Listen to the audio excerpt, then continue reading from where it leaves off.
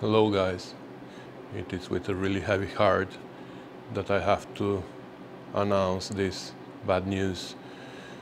My favorite green gloves are leaving me. They served me well. We've been together in good times, in bad times, but it is time to say goodbye to them. We loved each other. They went into fire for me and they were always loyal and friendly, touchscreen friendly. They would do anything for me, but it is time to say goodbye. Goodbye, my beloved gloves. I will never forget you. Rest in peace.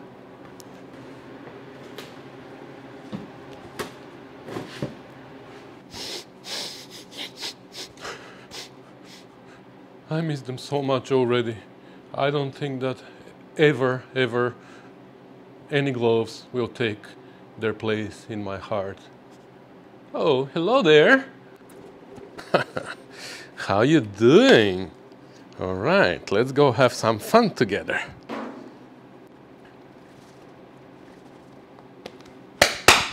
Let's go.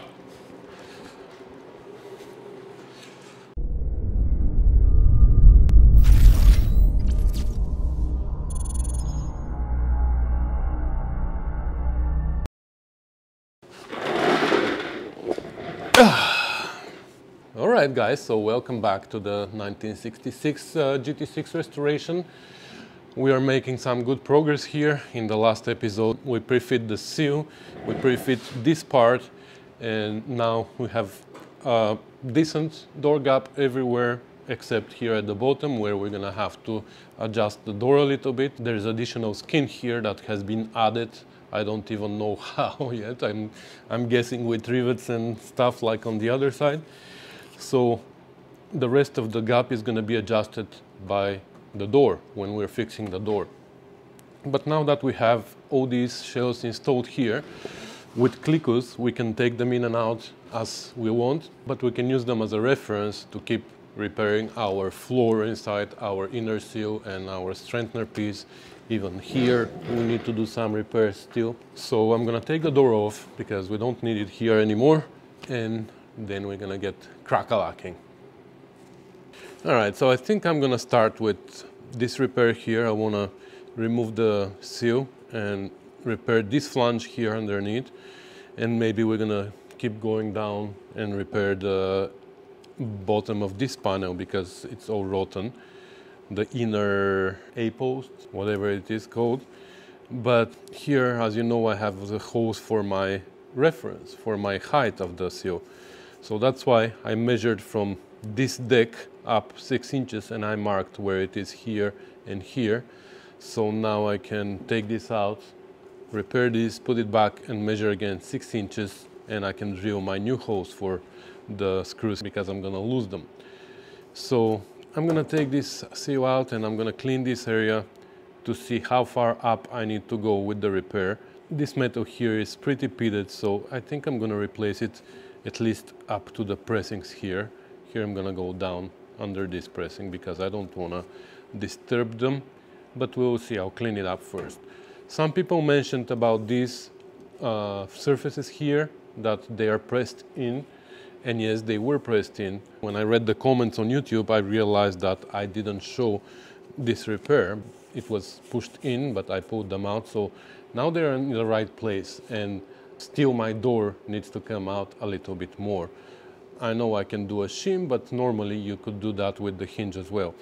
So anyways, we're gonna get back there at some point, but now let's focus on this. All right, so that's where we stand like all this is pitted so I'm gonna go up to solid metal and only here I'm gonna try to avoid uh, disturbing the this pressing. Not that we can't make it but we're gonna waste too much time. So I'm gonna cut it under it and we will see. If it is too thin we might go higher and make this shape but I'll try to avoid it. Here I'm gonna cut also part of this on this side because here it is rotten. So I'm gonna replace for now just this vertical line here just so I can finish this flange nicely. But I'm thinking that when I cut this out, maybe it's a good idea to, to repair this panel first, which is pretty bad. but we will see, like, let's, like here I don't want to make a plan because things are gonna happen as they come. So let me cut this out and then we're gonna assess a little bit better this underneath and see what we're gonna do there first.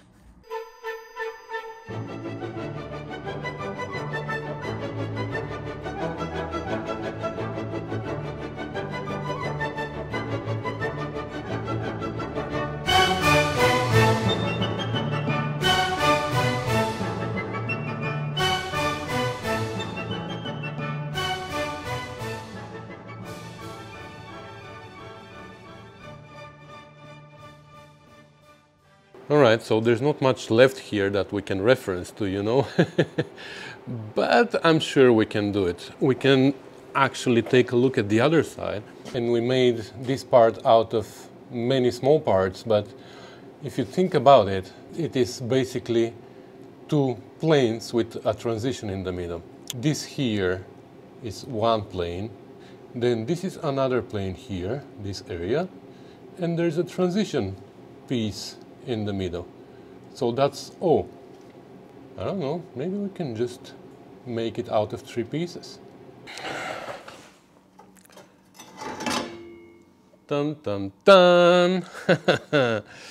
okay, okay, I just realized I made a mistake and I had to cut this piece off, but good thing it was only welded here. This was only tacked in place, so it was easy to take it out. And uh, I'll show you why I took it out. Alright, so I took it out because that's how it was. I was trying to figure out how to build this piece and I realized that this flange is straight up to here, but then from here, all of a sudden, it comes out. I don't know if you can see it like this, but it comes out. Like if you look from this side, you can see how it goes out. Then I looked at the other side and I don't know if you can notice from here, but this pressing is not a straight line. And I didn't realize that when I was repairing this one and I put it as a straight line, but actually it needs to be like this, this end needs to go that way. And also my bolt here wasn't fitting very well. So now I need to trim there a little bit more and push this in which is gonna open a gap here, but we're gonna fix that. But yeah, it needs to be adjusted, something like that, but further in. So let me play a little bit with it and I'll show you what I came up with. Okay, so moved it a little bit and now, like I said, we opened the bigger gap here, but that's fine. We're gonna fill this up with a piece of metal later but it looks much better and now this is further in and even the bolt the bolt fits better now. So now we can proceed with our repair here. And what I think I'm gonna do is I'm gonna start with one patch from here all the way till the end because that's pretty much a flat piece with the only exception of this part here where we have this pressing with this little channel here. But we've done that before. We've done it on the other side. I've done it on my GT6 so I've done this repair many times. So I'm gonna make this piece first and then we're gonna try to build this part here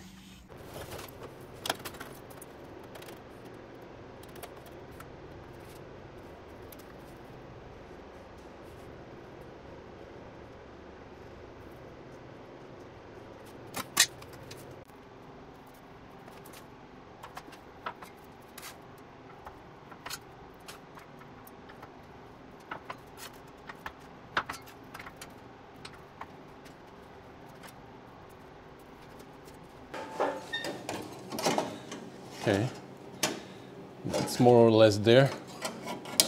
Actually, I can do this, right? Yeah. Okay, this flange is way too long. We're gonna shorten this. So that's how much it sticks down actually.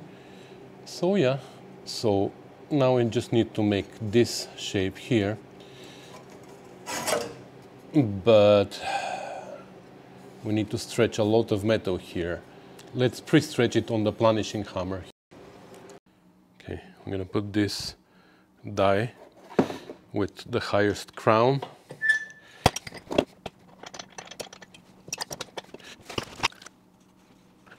Okay. We won't be able to go that deep with the die, but at least we're gonna be able to pre-stretch it here a lot and then with the hammer we're gonna finish it. So we're gonna stay only inside this area. Ooh, need a glove.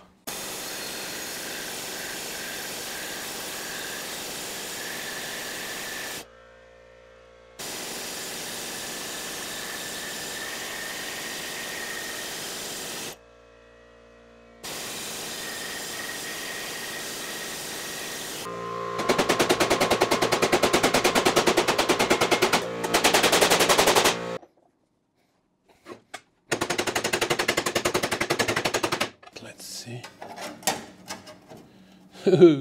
Like a glove. Like my green gloves.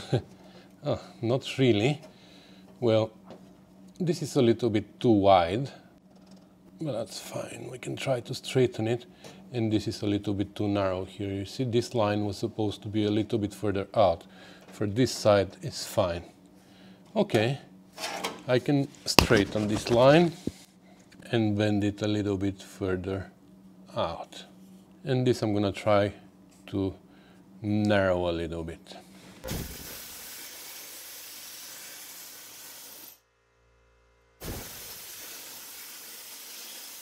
Well, something that I didn't film again, but I just repaired this corner here, added a little bit of metal, so the flange is one continuous piece, and I cut this metal here. Again, I didn't press the recording button or I pressed it in the wrong time, so I'm sorry, but nothing interesting, right? So now we painted the flanges and now I can weld this in place. I actually tucked it and then I realized that I didn't uh, paint.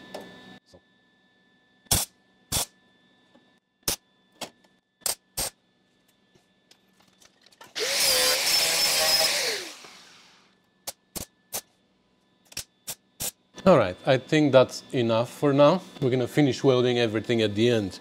I just wanna keep making patches for here.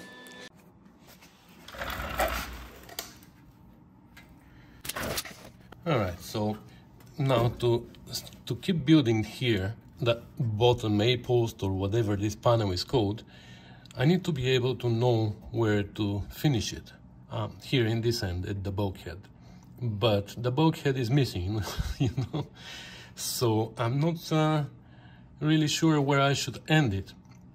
So for this reason, I put the sill and I brought my template here for the cap and that's like this. So this is has to line here and that's something like that. But it is still not very clear. So you know what? I think I'm gonna have to rebuild the bulkhead first, or at least part of it, in order to be able to to finish this inside. Oh my god, this corner is a nightmare. so anyways, here you can see how the bulkhead makes a big step in order to accept this. And that's how it was. I didn't make that. I think I'm gonna have to flatten that. And here, remember I unbent this flange and I bent it a little bit higher, but looks like I have to go a lot more. I need to go to where the black line is. That's where I need to bend it. And also I have to unbend the top flange and make it wider a little bit. So, yeah, that's a corner of hell here. so I'm gonna take the sill out again. I'm gonna do this work on this corner and then we're gonna bring it back and we will see what we can do about the bulkhead. That's, hmm.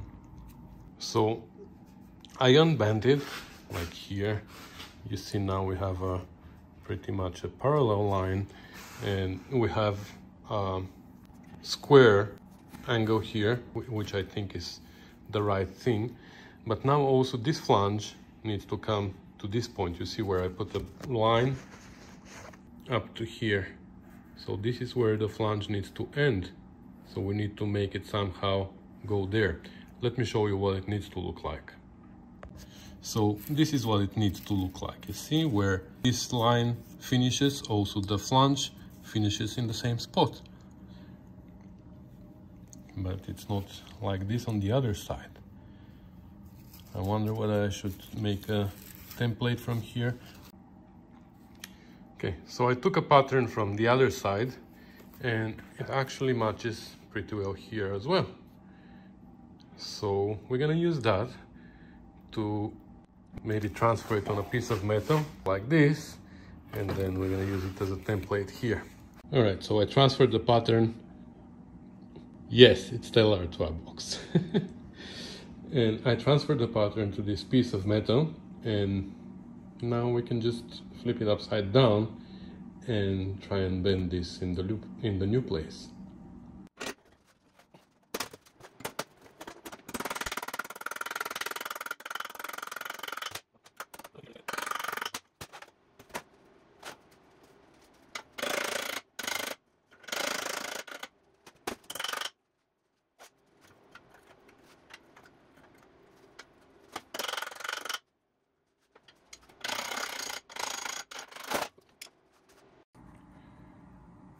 All right, that's better now, you see? They both end where the bulkhead should be. so now let me make a piece for here. So we're gonna replace a piece somewhere to here and here. Maybe from here we're gonna go up and around. But now we can follow this shape of the sill we have a very smooth bend here that needs to continue here so so we're gonna cut just below. We don't want to go into the bend and then we're gonna come here. Eh, we will see. So I made this pattern for this piece here. I'm gonna just do this repair for now. We're gonna do the rest later it's easier. So something like this. I'm gonna make it a little bit wider. I cut my pattern a little bit too short but I'm gonna make it a little bit wider here. Not that hole this is a rivet hole. This is okay but a little bit longer here to cover this rotten area. So this metal here needs to be cut here and we're gonna bend this this way.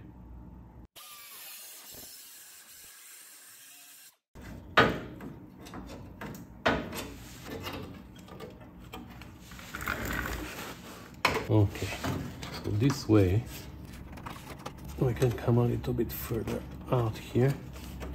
With this. Okay that's good actually. And I can transfer this to piece of metal now like this here. I'm gonna leave it longer because I need to make a flange for the bottom here. And this is where we're gonna leave it longer, like we said, to cover these holes. Okay, so I made the bend here for this flange there, and I bent it here just with my fingers so far. And that's a good starting point. Now from here, we're gonna have to start shrinking, I guess, and stuff. Uh, we actually have to shrink here, this corner, you see?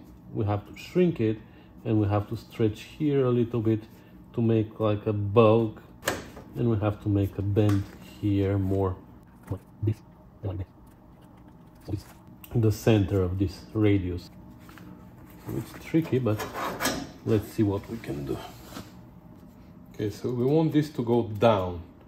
So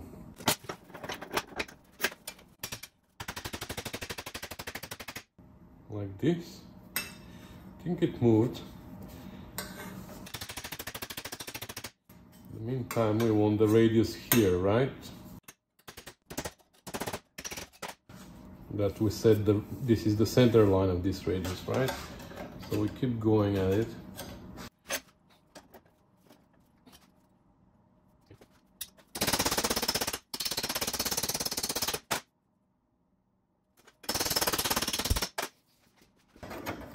So, so far so good.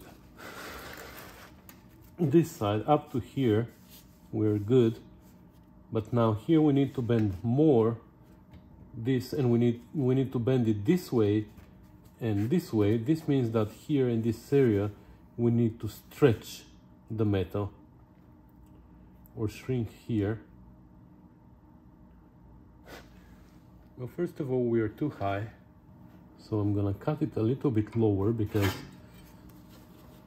we don't need that high we need need it to be somewhere here right so we're gonna cut it here so we can shrink it. The shrinker is gonna shrink it, but it's gonna also flatten it. Hmm. I don't wanna flatten it.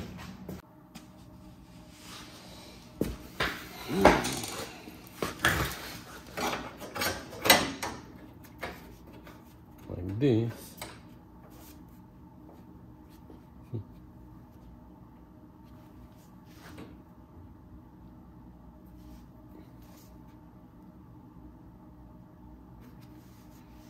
so that's much closer.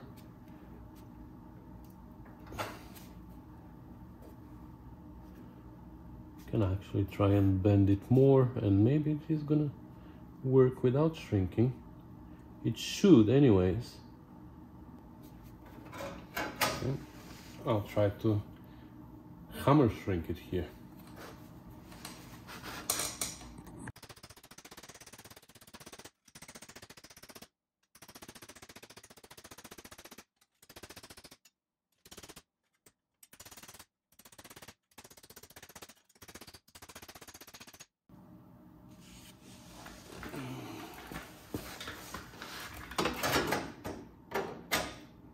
Hmm.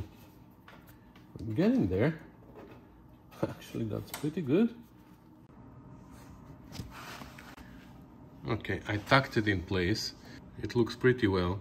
The thing is, it moved a little bit here at the bottom. I didn't realize and I had it tucked already, so it moved by probably quarter inch in that orientation, but since everything else fits perfectly, I'm not really worried about that.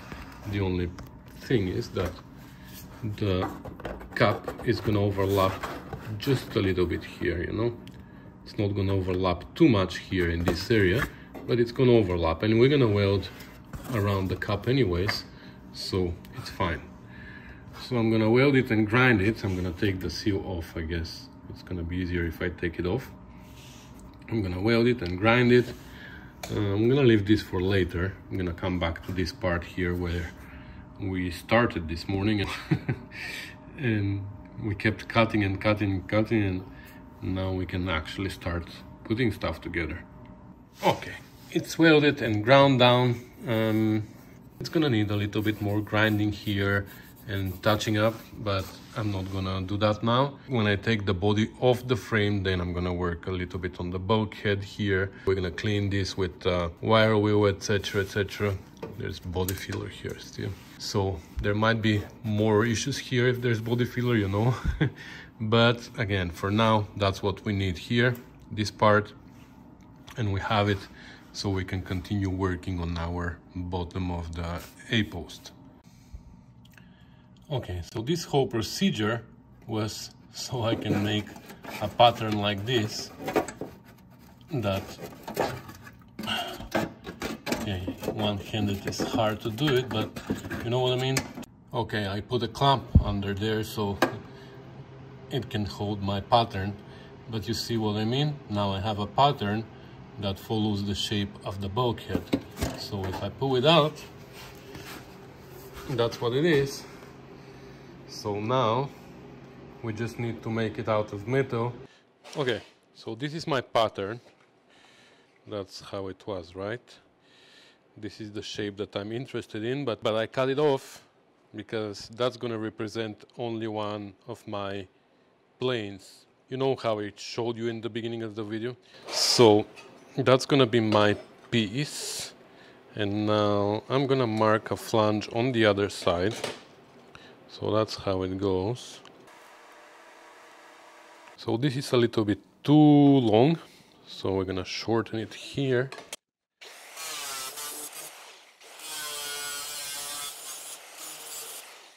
It would be great if we it would be great if we had a template like this, but I don't want to make another one. So I'm just gonna bend it with the pliers a little bit at a time.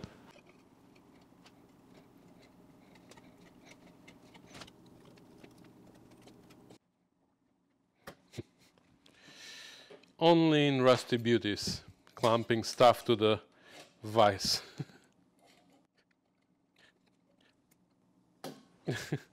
it's just the, a nice height for me to work on.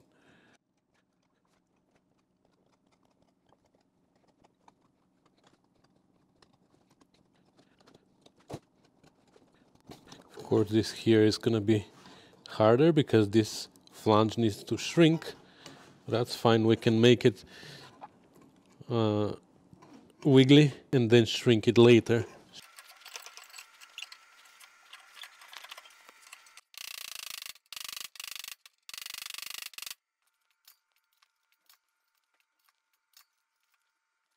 Well, that's how much I could bend it on the shrinker because now it doesn't work. But I can keep going here like this. I'm gonna have to do it manually.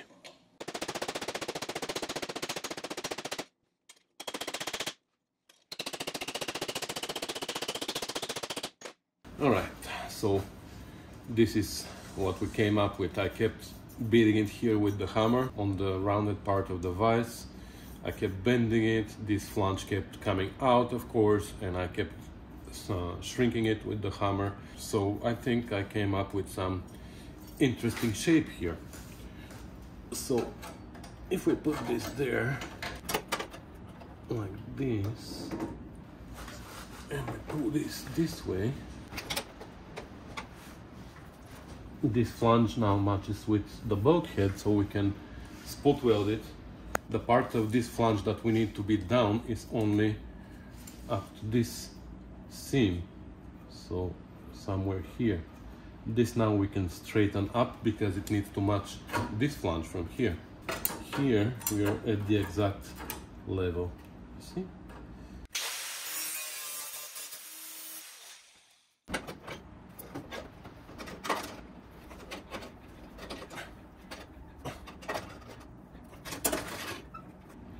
Okay, and that represents one of our surfaces. Now we can cut off the rust and extend this piece to fit this piece, but we're gonna leave a gap here because they're not gonna be at the same level. And I'll show you what I mean. Let me cut this off now, we don't need it anymore.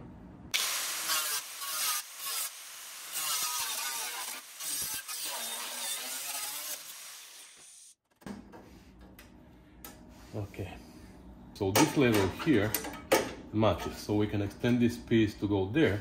But if you look at this level here now, it's coming, it's coming further in than this. So here we're gonna have a transition piece. So that's gonna be interesting. This piece here, we're gonna cut like this. Never done this approach before to this repair and it's gonna be interesting. Okay, let's make a template again. I'm running out of paper. I need to buy another box of beer.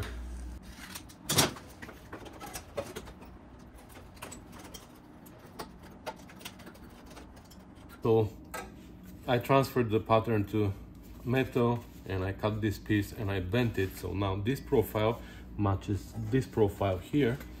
And you see how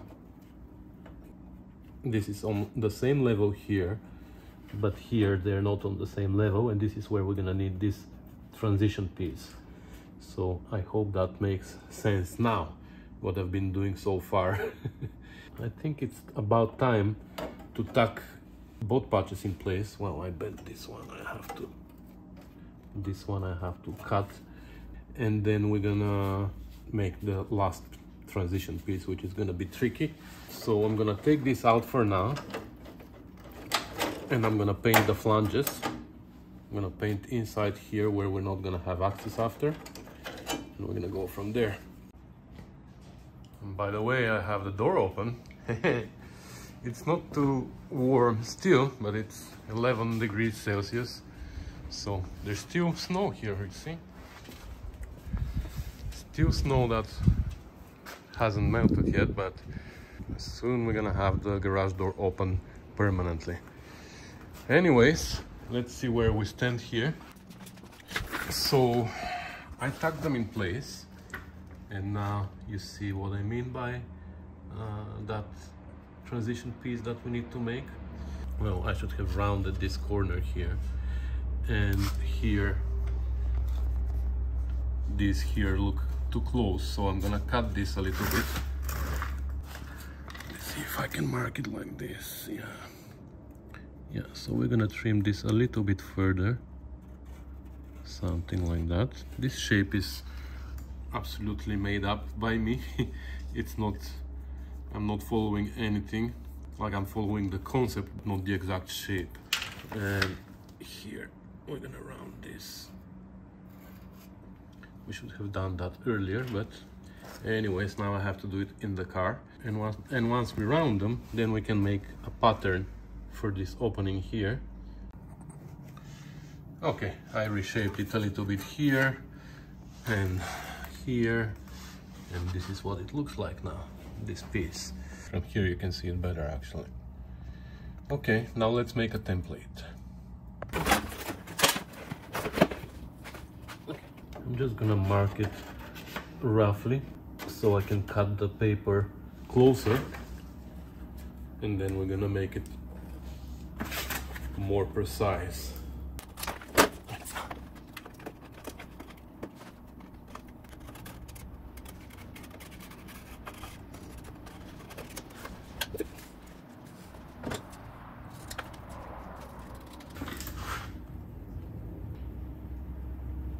Remember this trick? Yeah, it works every time. Wow.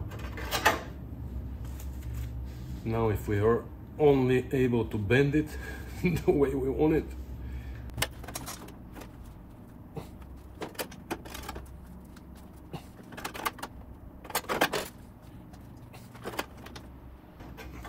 yeah, I'm gonna tuck it where I can, where it is fitting, and then the rest we're gonna just push it, hammer it, bend it with pliers and whatever.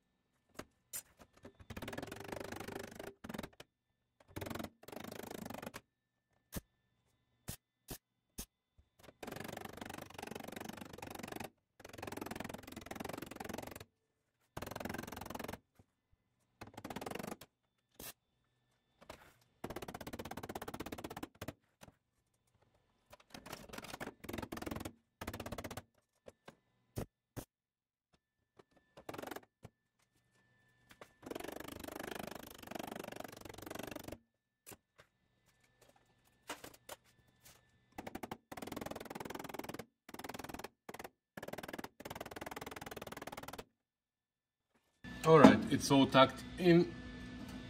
All gaps are pretty good. This is what it looks like outside. So I'm gonna weld it all over the place, everywhere, here, here, everywhere. And I'm gonna bring you back. There you go. It's all welded. I think it looks good. So that's it. If you think I'm gonna grind it, you're wrong. yeah. Okay, okay, I'll grind it just a little bit. All right, that's it. I'm not doing more than that. All right, so now we can cut this mess here, extend this flange to match with this flange, like this. Okay, so the lower A-post should be finished. All right, so now we can start with this repair here on top. And this is the flange that I cut from here. So just so I can have the profile. So I can make a piece for here first. And then we're gonna make I don't know if we're gonna make a separate piece or we're gonna make one all the way to there. We'll see. But it's a simple patch so I'm not gonna hold you here. I'm gonna make it and I'm gonna bring you back all right so this is repaired here. It was pretty simple just an angle piece but I cut the flange shorter because this is where the seal needs to fit. Maybe it needs to be even shorter but I can always shorten it. Uh, and then I made this piece that fits here perfectly. And once we weld it we're gonna spot weld these two as well and we're gonna be done with the top of the A post.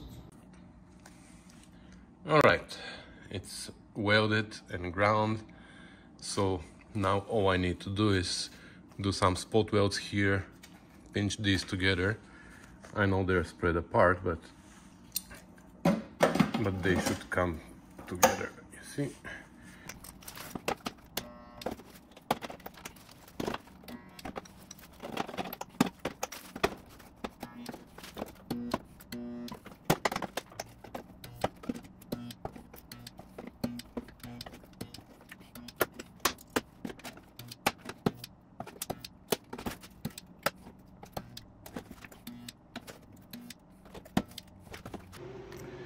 Right, it's all done.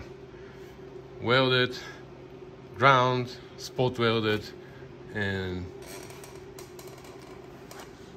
this part here is completed. So now what I'm gonna do is I'm gonna put the seal back on to make sure that it still fits properly, maybe even the door. We're gonna measure the six inches to the deck and we're gonna drill the holes so we can have the seal exactly where we had it before. Well, it looks like everything still fits nicely. So we didn't change anything by fixing that because sometimes, you know, things twist and shift, but here everything is fine. It looks like this gap is a little bit too big, but it's not. When you latch it, it's gonna become good. Also, this gap looks like it is too small and here. But this gap is a little bit too big so the whole door will shift backwards. Right now I can't shift because I need to remove shims from behind the striker. And uh, I don't want to do that but I'm confident that I can move the door like a 16th which is gonna help this gap a little. Like I'm not worried about these gaps right now. So so I think this is a good point to end this video.